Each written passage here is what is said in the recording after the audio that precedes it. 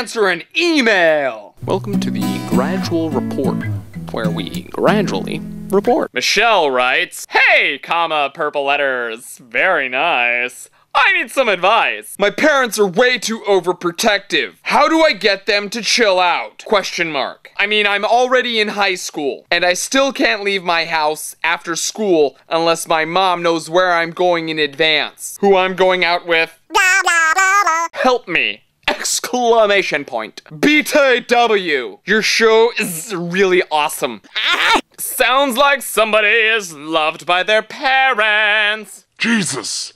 My face is the same color as the wall behind me. I blame the lights in this room. There. How's that for a little more definition? So, Michelle, I'm laying in bed with a leather jacket on. What does that mean? well, Michelle, sounds like your parents love you. They're just trying to protect you from all the bad people out there in the world. And there's a lot of bad people in the world. Especially your mom's boyfriend when he's drunk and he thinks you look a lot like your mom, except younger and more supple. So, how do you get your parents to lighten up? Simple. Tell them the truth. Guess what?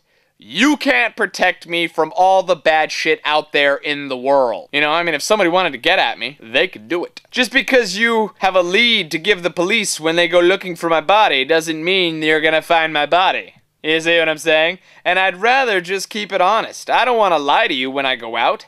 I don't wanna lie. But if you keep putting your shoe in my every time I decide to leave the house, I'm just gonna start lying to you. So why don't you ease up off my balls a little bit, assuming, of course, that Michelle has balls, and uh, I won't start lying to you. Final summation!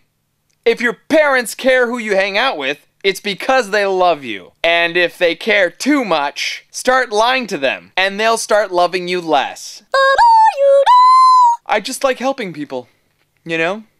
And I get into these weird moods where I can almost see the future and see the dangers that are out there. And I just want to help people steer clear of them. You know, it's it's almost a superpower. I'll see you tasty little lemon drops tomorrow. Oh yeah, I forgot to say. I made a Doritos commercial, and I think it's pretty good. And the link's in the sidebar. And if you watch it and leave a comment, I'll, I'll, I'll promise not to smear shit all over my own face.